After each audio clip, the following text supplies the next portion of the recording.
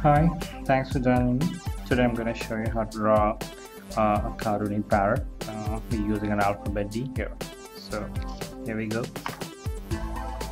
So uh, as a regular D stands like this, but to make a parrot I'm going to make it more uh, more more stylish, more uh, more rhythmic, more artistic.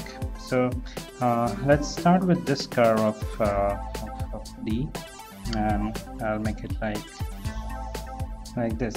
Let's let's extend it a bit and here also yeah. Now uh, well, next next we'll draw this uh, vertical line. So starting from here there should be make sure that there should be a sufficient space over here. So starting from here um, I'm gonna draw on straight line like this. Now we need a beak. We need to add the beak. So starting from here again I'll make a beak. Like this. And yeah like this. Now you can add the down one also. Now we need a dot here. Yeah. And now time for eyes so I'm gonna make circle for eye and an eyeball here. Yeah now we need some more uh, artwork at this end like this. Like this. And now I'm gonna use this this curve and make it into a tail. So you need lines like this. And like this. It depends. You can make more you can make it thicker and and if you want you can just stop it here like this.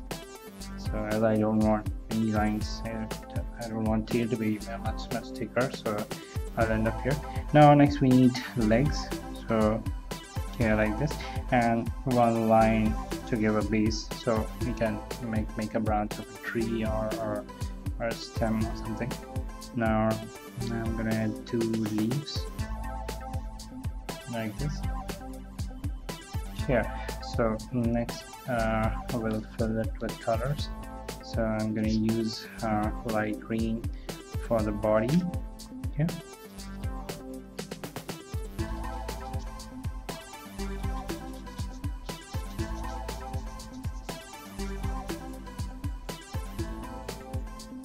like this. For these position also. You can make it uh, you can fill it with any colors whichever you like. So I'm, I'm just choosing a light green here. Now for for, for, for these leaves I'm using dark green. Time for beak now. So I'm using a red sketch pen and fill it up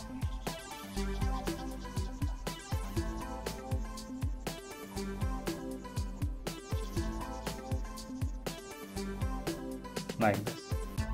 So that's the parrot is ready to fly. Thanks for watching